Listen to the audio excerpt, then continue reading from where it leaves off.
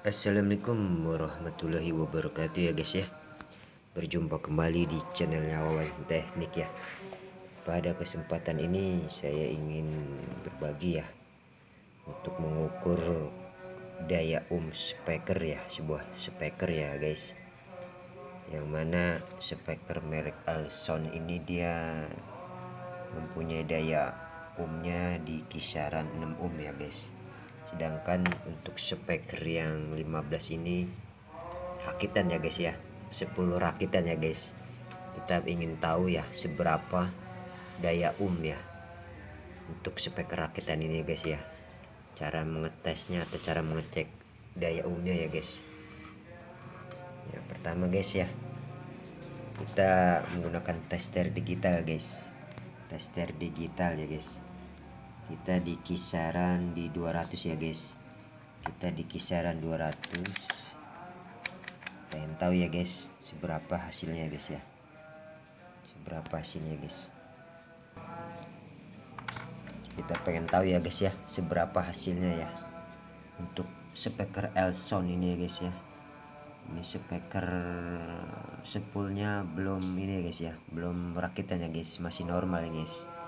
Sedangkan untuk speaker 15 ini, ini udah sebulan guys ya.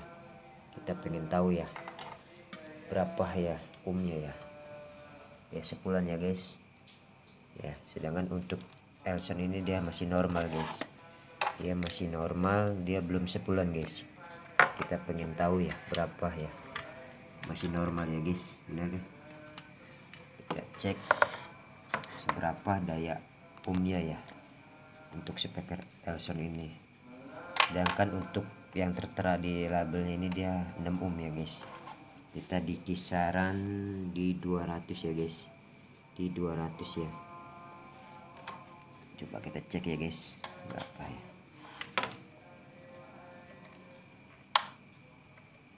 Kita pengen tahu berapa ya guys ya.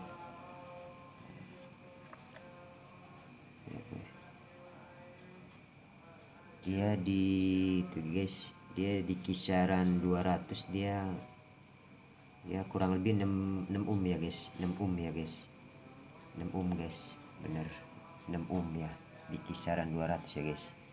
Untuk speaker yang 15 ini sebulan kita pengen tahu ya guys berapa ya. Kalau dia melebihi 8 um otomatis harus kita buka kembali ya guys ya harus kita buka kembali gitu kan. Sepulnya ini ya maksudnya terlalu pengen tahu sejauh mana gitu ya daya umnya guys ya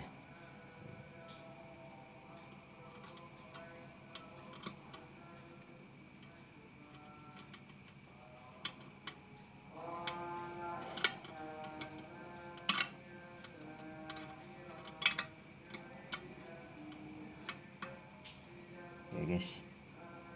Oh ternyata dia melebihi di 8 um ya guys. Otomatis ini sepulnya terlalu terlalu besar ya guys ya. Dia melebihi dari kapasitas 8 um ya guys. Otomatis sepul ini harus kita buka kembali guys ya. Harus kita buka kembali harus kita rapikan kembali ya. Karena dia melebihi dari 8 um guys rata-rata untuk speaker 15 ini ya guys. Untuk sekelas 15 ini kelas outdoor atau 8 ini dia minimum itu di kisaran 8 um guys. Ini di kisaran 9 um guys. Otomatis terlalu besar guys ya. Harus kita rapikan kembali sepulnya ya. Nah untuk speaker Elson ini ini untuk salon aktif ya guys ya. Dia di kisaran 6, 6 um ya guys soalnya untuk karakter suara itu pasti beda guys. Soalnya di kisaran 6 um. Sedangkan untuk speaker 15 ini ya kita usahakan di kisaran 8 um guys. Untuk membuat sepulnya itu guys. Sedangkan di sini di kisaran 9 um guys. Otomatis harus kita rapikan kembali guys sepulnya ini. Terlalu besar ya guys. Otomatis suara yang dihasilkannya terlalu berat guys. Ya gitu. Itu guys di kisaran 200 ya guys ya. Di kisaran 200 ya. Di kisaran 200 ya. Hasilnya 9 um ya guys ya. Di kisaran 209 ohm ya guys. Terlalu besar ya guys. Ya. Sedikit harus kita rapikan kembali ya guys. Gitu kan. Untuk speaker 8 ini maksud saya untuk speaker 15 ini ya guys ya. Harus kita rapikan kembali ya karena speaker 15 ini untuk karakter outdoor ataupun untuk karakter lapangan ya guys ya. Harus kita rapikan ya. Ini di kisaran 200 ya guys ya. Di kisaran 200 ya. Itu kan? Karena speaker ini udah sebulan ya guys ya.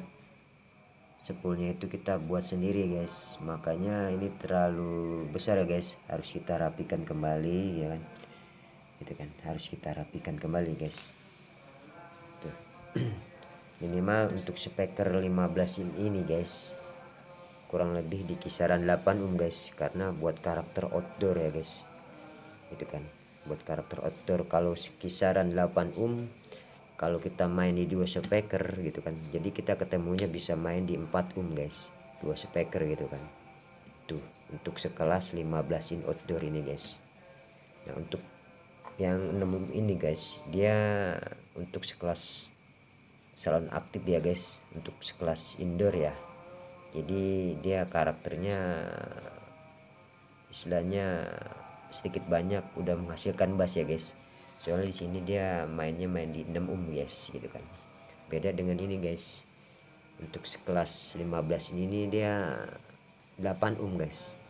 Kita bisa main di 4 um kita bisa main di 4 um minimal 2 speaker guys.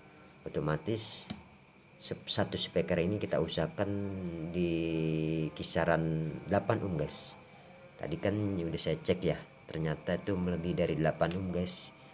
Hampir 9 um guys. Otomatis harus kita rapikan kembali ya. Uh, untuk spoolnya ini guys ya. Gitu kan. Harus kita rapikan kembali untuk spoolnya ini guys gitu kan. Karena kisarannya terlalu besar ya guys ya. Karena nanti karakter suara juga akan berat guys gitu kan ya. mungkin cukup sekian ya guys ya dan terima kasih ya mudah-mudahan bermanfaat ya guys ya Nah, kalau memang kurang dimengerti atau kurang dipahami ya bisa like, komen dan subscribe-nya ya. Nah, jangan lupa dukung channel Wawan Teknik ya guys. Mudah-mudahan bermanfaat ya guys. Nah, kurang lebihnya ya assalamualaikum warahmatullahi wabarakatuh.